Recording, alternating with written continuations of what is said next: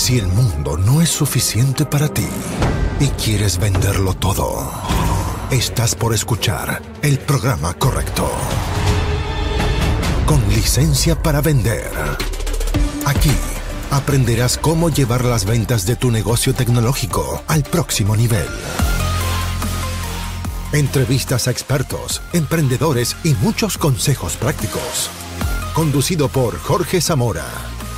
Bienvenidos. Auspicia. MCI Consultores.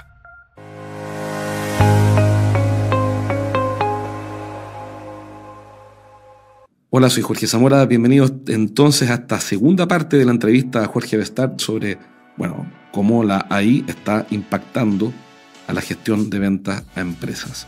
Si eres un emprendedor del mundo de la tecnología o eres un líder de ventas TI, este podcast es para ti, te va, va a servir, te garantizo que vas a sacar buenas ideas, anótalas y ponlas en práctica para empezar a ver resultados.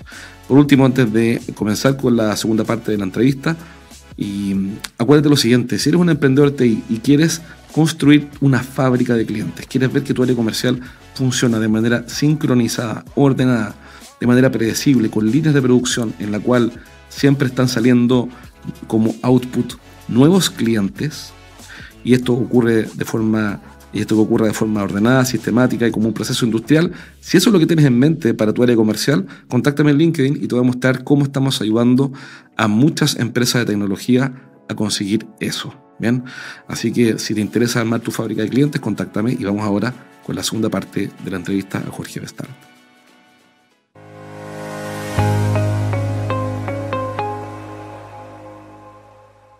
Mira, los CRM, escuchándote, los CRM que no tengan una capa de ahí pronto van a quedar obsoletos ya, pero así. Porque, porque te ahorra un montón de trabajo, ¿no? Que es toda la interpretación de los datos, todo el esfuerzo de, buscar el patrón. Nosotros estamos usando un software. Perdón, dime, dime. No, te, iba a decir a tu comentario de los CRM, el, el futuro de los CRM es un, es un futuro incierto, eh, tanto, tanto en cuantos eh, tienen el peligro de que se conviertan en un almacén de información para que la gente le pueda hacer preguntas. Eh, y, a, la, pregunta de Ricardo, el futuro, cómo se interactúa con los CRMs, es eh, simplemente dices, oye, tengo un ratio de conversión de primera llamada a segunda llamada de un 20%, ¿qué está ocurriendo en ese 20% que podemos transferir a ese otro 80%. Y el CRM debería de poder decirte esa información.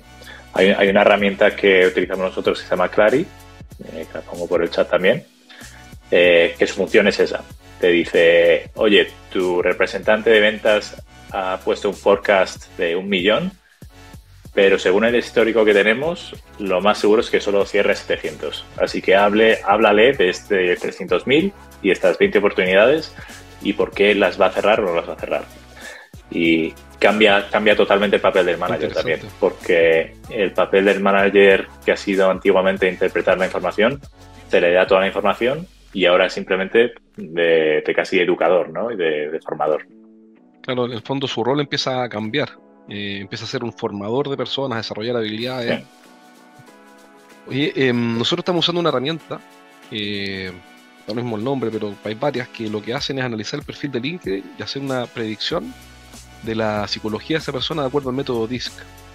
Y da niveles de detalle, como por ejemplo, no hagas esto, haz lo otro. O sea, analiza a Jorge de estar, supongamos, ¿no? Ya, Jorge, ve un caso, de hecho, un consultor que trabajó con nosotros, salió muy frustrado de una reunión. Me dijo, mira, no me pude entender con este cliente, es como si fuéramos marcianos. O él o yo éramos unos marcianos. Entonces analizamos el perfil de él y era divertido porque era un escéptico, pero en los niveles más extremos, era como un hardcore del escepticismo. Entonces, lo único que el tipo quería saber eran números y eh, evidencias, solamente. Y este consultor fue muy amable con él, porque es un tipo muy amable, entonces fue muy amable. Y trató de acercarse de forma natural y amable, y, fue un fracaso. Y mm, probamos 20 perfiles, 10 él, 10 yo, y hasta aquí, yo sé que la muestra es pequeña, la predicción es calza perfecto. O sea, pero perfecto, es como es como si hubiéramos mandado al psicólogo a esa persona, a ese cliente, y el psicólogo no hubiera dicho, mira, para comunicarte con Jorge tienes que hacer esto, esto, esto. Dice, El email de acercamiento, este es un título que a Jorge le va a resonar. El cuerpo del email de este tipo. Después, la primera conversación, anda el grano, supongamos, ¿no? Que fuera el caso, anda el grano directo y en 30 segundos dile tal cosa. No cometan nunca el error de tal otra. E, es impresionante y lo hemos probado. No sé cómo lo hacen, analizando el perfil, las publicaciones de LinkedIn. Pero, pero es impresionante porque funciona. Eh, eh, éramos un poco escépticos, lo probamos, funciona, sigue funcionando. Ahora vamos a empezar a probar un segundo software para ver cuál anda mejor. Pero te cambia eh, toda esa zona misteriosa, ¿no? que es la zona misteriosa en sentido de las habilidades blandas, el, ajuste fino, en las formas. ¿Qué han hecho ustedes con eso? ¿Qué has visto? ¿Qué te está funcionando? ¿Qué no? Sí que, sí que utilizamos, eh, eh, utilizamos una herramienta parecida también con el, con el perfil de Disc. Eh, yo os digo que he visto mi propio perfil de Disc y cómo me gusta que, me escriban por LinkedIn y, ya han aceptado al 100%. Soy, soy una persona que me tienes, tienes que empezar por qué esto es importante y luego muy, o sea, me tienes que enseñar los, datos también muy, específicos, ¿no? Y ahí me han, clavado, eh, lo, han acertado. Lo que mencionas, yo, creo que como está avanzando eh, la tecnología, eh, el, punto donde, sea, el talón de Aquiles a veces de, del training es eh, que el training lo haces después de hacer la llamada o tener la reunión o tener el, evento importante, ¿no? Eh, eh, cómo está cambiando eso es herramientas que saben interpretar exactamente cómo está yendo la llamada y que te da información en tiempo real de, oye, llevas hablando 20 minutos, es, o sea, las, llamadas que tienen más éxito y que convierten más son llamadas en las que la otra persona habla más. Así que eh, eh, cierra el pico, ¿no? Eh, o que te. O, te una alerta, una luz roja. Sí, sí, sí. O, o, te, lo dicen, oye, que no has, no, has, no has hecho preguntas o no estás sacando la información necesaria. O incluso ya interpretaciones, de, interpretaciones físicas oye, la, persona eh, parece que está distraída o le has aburrido en este momento. Eh, llévale otra vez a la cosa que es, que es más importante. Todos estos modelos eh, sí que he visto eh, alguno de esos modelos en prueba, todavía no lo he visto de manera efectiva, pero yo creo que es, una cuestión de meses.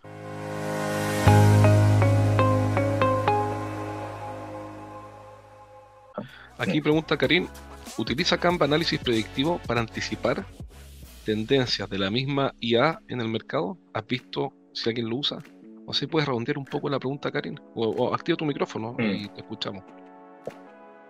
Sí, mira, eh, mucho gusto, Jorge.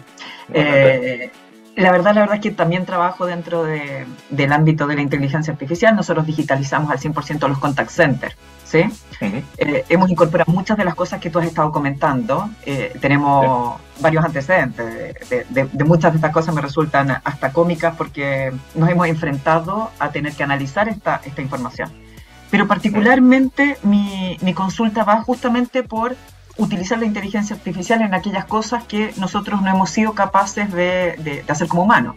El análisis predictivo sobre las mismas tendencias de la inteligencia artificial para ser más eficiente, tanto si en la oferta de algún servicio o producto con inteligencia artificial o eh, eficientes en el, no sé, hasta en el delivery, contacto con humanos, etcétera, etcétera. ¿Tienes alguna experiencia? ¿Has visto que alguien lo utilice?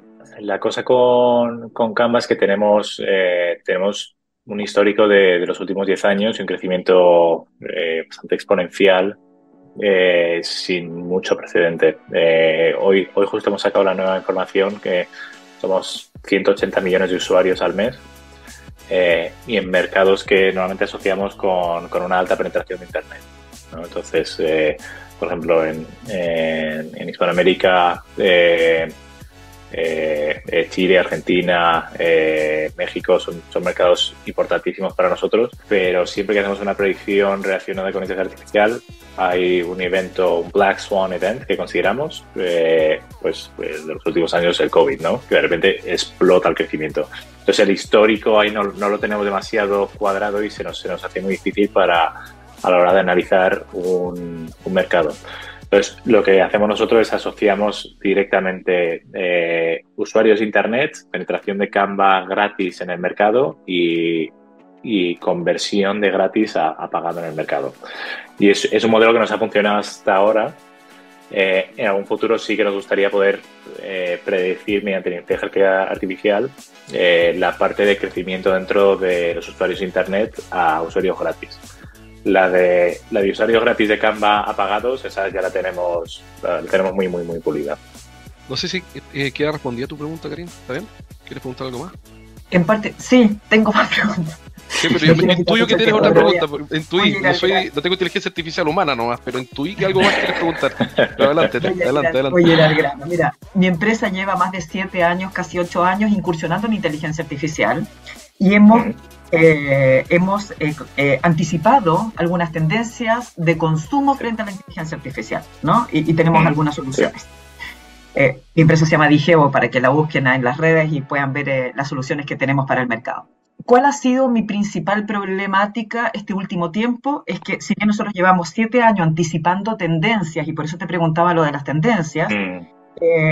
me va alcanzando la ola en algún minuto yo estaba en la cresta de la ola haciendo mi surf, y me va alcanzando muy rápidamente el desarrollo de la tecnología mundial, o sea, semana a semana. Eh, estoy segura que tú has vivido lo mismo. Entonces, ¿de qué manera uno puede, eh, el esfuerzo eh, empresarial que uno está poniendo para sacar soluciones, de qué manera uno puede mantenerse en esta tendencia de anticipar aquellas cosas que el mercado en general va a sacar para solucionar masivamente. No sé si me explico bien en, lo que me interesa. Sí, es, eh, la verdad es que es un problema que están teniendo todas las empresas, eh, incluso, incluso nosotros, porque si, si lo, lo, último que sacamos, que era increíble, ya, ya se está quedando viejo tres meses después. Eh, o sea, en, en, Canva sacamos la habilidad de escribir eh, pues escribes, quiero una foto de un gato con un sombrero verde.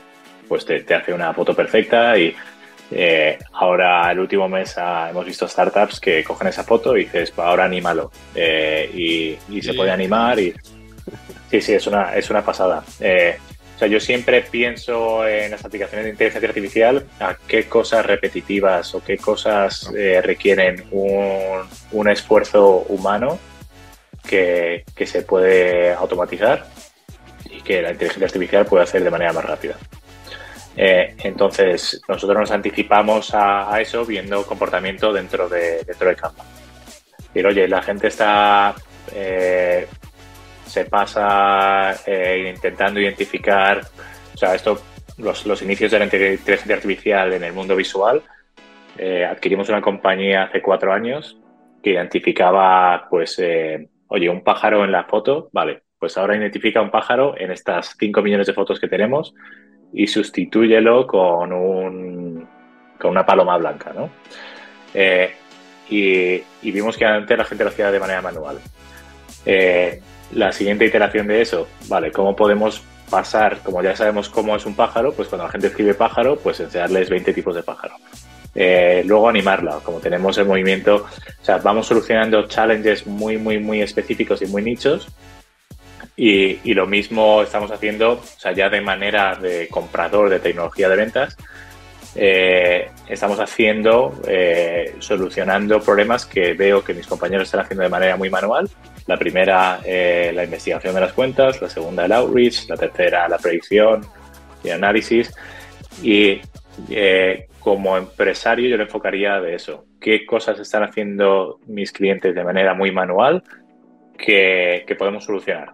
Eh, y, más allá, ya te digo que en el momento que lo saques, a los tres meses ya, ya va a estar outdated, ¿no? Porque va a una velocidad increíble.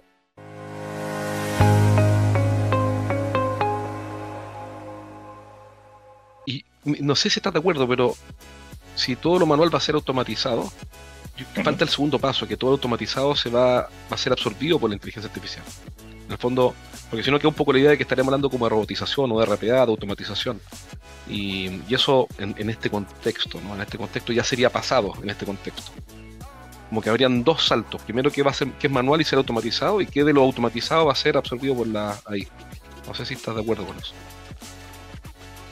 Sí, eh, hay, una, hay una vuelta a, la, eh, la, profesionalización de ventas y lo que hace al, vendedor eh, humano y que, otro humano compra de, otro humano, ¿no? En los últimos 10 años yo creo que hemos vivido una especie de, fantasía en cuanto a, dinero prácticamente gratis, a compañías comprando todo tipo de tecnología y a y una especie de, gold rush, ¿no? De, llamada al oro, de a ver quién saca, eh, quién escribe antes, quién se pone delante de los clientes eh, eh, cuanto más rápido posible.